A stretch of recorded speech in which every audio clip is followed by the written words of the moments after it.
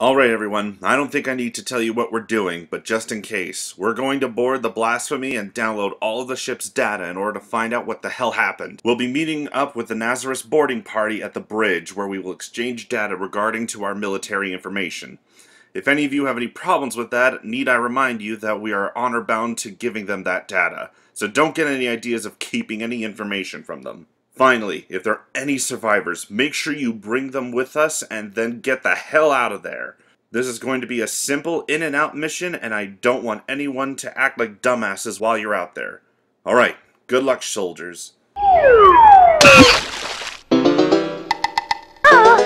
Uh-huh.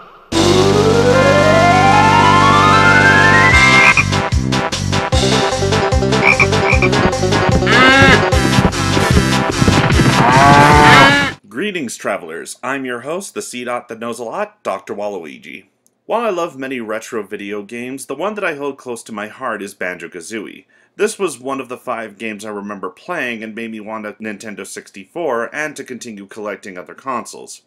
So without this game, I wouldn't be the big nut for video games I am today. Which is sad that Microsoft has allowed Rare to spiral into mediocrity and have turned their games into hot garbage. However, it does look like Microsoft is getting their head out of their ass. But we're not here to talk about that today. We're going to talk about how Banjo Kazooie compares to the spiritual successor that came out on all consoles, Yooka-Laylee. Uh-huh.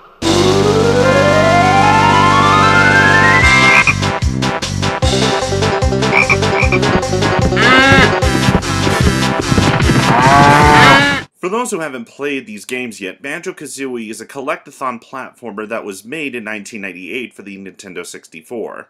The games received high praise from gamers at the time, and it has gone on to be one of the most beloved games of all time, which was followed up by a just as well remembered sequel for the Nintendo 64, and a sequel for the Xbox 360 that was met with enough fan rage to quell a soccer mom on her period. Jump forward 18 years later, and much of the original team who had previously worked on Banjo Kazooie left Rareware and started their own company called Playtonic Games, where they decided that the first game they would release was a spiritual successor to Banjo Kazooie known as Yooka-Laylee.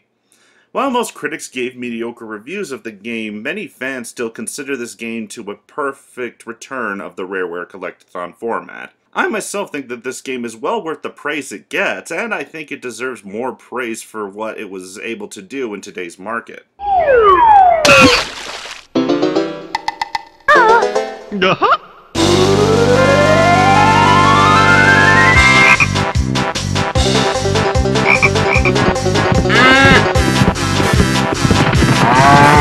Both of these games' plots are similar in how they are presented to the player.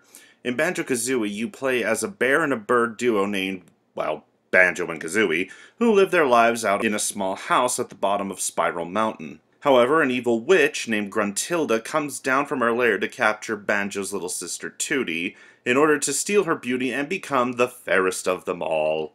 It's up to Banjo and Kazooie to climb Gruntilda's lair and save Tootie from her evil plans. With the other contestant, Yooka-Laylee, is about a chameleon and a bat named, again, Yooka and Laylee, who live their lives quietly on Shipwreck Creek, until an evil corporate business bee named Capital B decides to steal all the books in the world, including one that our heroes have, so they march forth to Hivory Towers to get back their stolen property.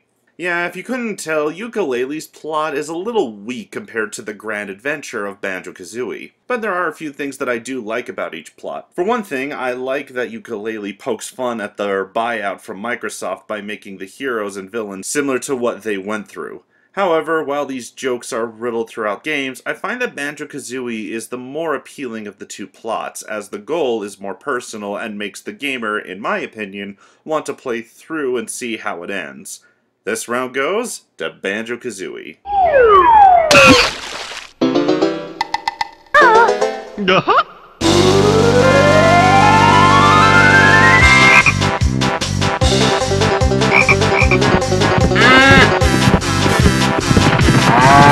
The cast of each game you would think is similar by design, but there are a few surprises in each game.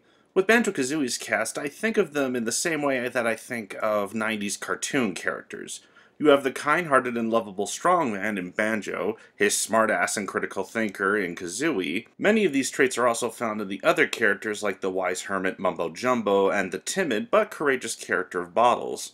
The same could be said of Yooka-Laylee, but I find that Yooka is able to tolerate more of Laylee's crap than Banjo does with Kazooie. With Yooka-Laylee's cast, I find that they tend to take caricatures from other popular series. For example, the character of Trousers, the snake reminds me more of Moneybags from the Spyro series than something that was intentionally made for this game. It's for that reason that I tend to lean more to the cast of Banjo-Kazooie, as most of their characters are more memorable and made the game a big reason why I wanted to play this series again.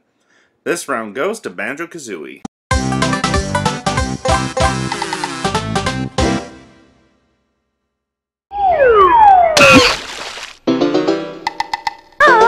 Uh-huh.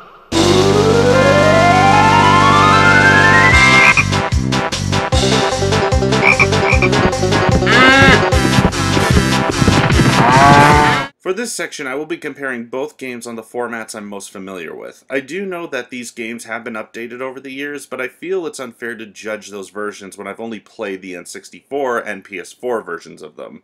Both of these games, in my opinion, are the best looking in terms of when they came out. I feel that while Super Mario 64 set the standards for what 3D games could look like, Banjo-Kazooie did improve on those graphics. However, it is clear Banjo-Kazooie might be a well-designed game. I personally feel that Yooka-Laylee is easily the better looking game for two reasons. The first being is that the worlds are more memorable. While Banjo-Kazooie is well remembered for how expansive the worlds were, the early worlds just come across as simple rush-through worlds while Yooka-Laylee's were more expansive and could grow as you collected more of the collectibles throughout the game. The second and the most important reason why I think the presentation is better in Yooka-Laylee is because of how much more you can do in each world. Yes, in Banjo-Kazooie there are lots of things to do in each world, but unlike Yooka-Laylee, you have a much vaster and wider expanse to cover. When I was replaying these games, I was drawn in by how I could go from one part of the world and see how the main hub world affects this place, such as the ice world being created because it's right next to the AC in Hivory Tower. Don't get me wrong, Banjo-Kazooie had this too with the levels like Bubblegloop Swamp and Click Clock Wood, but they feel like they were a part of the tower where whereas Yooka-Laylee used a more creative way to make the hub world work. So, I'm sorry for Banjo fans, but this round goes to Yooka-Laylee.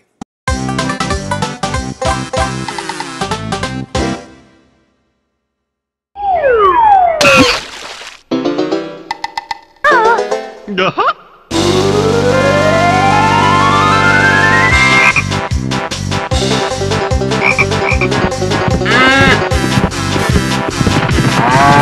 One part of video games that I think is important for any gamer is the sound design and the music, and these two games revel in that. One main reason that nostalgic gamers like myself remember these games so fondly is how they used many different sounds for many different items and characters.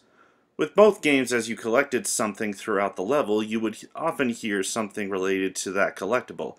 For example, one of the main collectibles in Banjo-Kazooie are musical notes, so you would hear a musical note sound related to that collectible.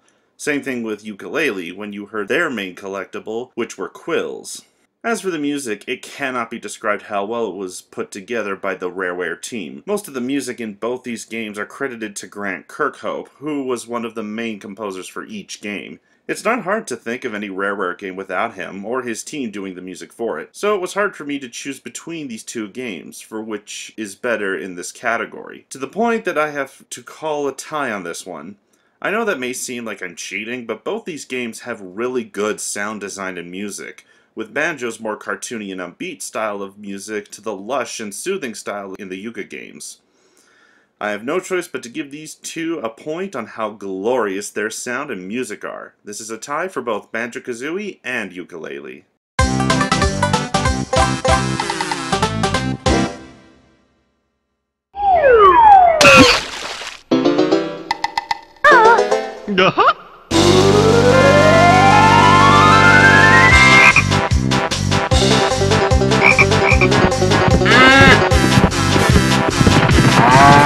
will be the final round and we'll decide which of these games is the best. Both of these games are similar in style as they are both collectathon platformers that give us interesting worlds both visually and auditory. However, what sets these two apart is the feeling of progression. While I complimented on Yooka-Laylee's presentation and how expansive the worlds were built, I can't say that I was all that interested with how lacking the story was and how I felt with the controls for this game. While I will fully admit the N64 controllers of Banjo-Kazooie are stiff and slow, it made the game easier to play through and solve some of the puzzles that were tricky. With Yooka-Laylee's controls, I found it hard to do some of the puzzles or even play the game because of how slippery and loose the controls were, especially during the Carto segments of the game, where apparently controlling a living minecart is fucking possible. So this round goes to Banjo-Kazooie with the tally of Banjo at 3 and Yooka at 2.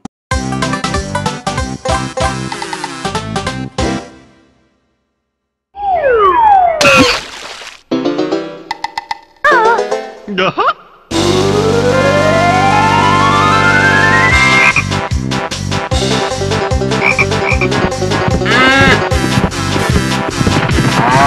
Let it not be said that either of these games are bad. I think that they're both very good games that any fan of the collectathon genre should check out. I just feel like people really need to stop treating Yooka-Laylee like it's a sin against nature, and that A Hat in Time is the true reboot of this genre of gaming. If I have to give this game a rating, I would give Yooka-Laylee an 8 out of 10. Check it out if you can find it for a decent price. You won't be disappointed. Well, that's all for now. Thanks for watching. I'm Dr. Waluigi, and remember, don't judge a book by its cover because you'll never know what's inside. Good night, everyone. Uh-huh.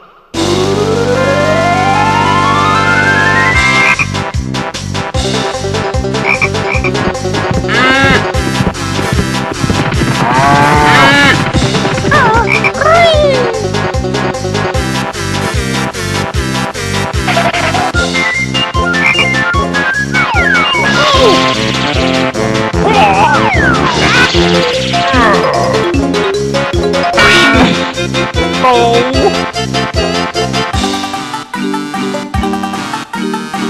news? Not yet, Doc. It looks like they're just arriving at the bridge.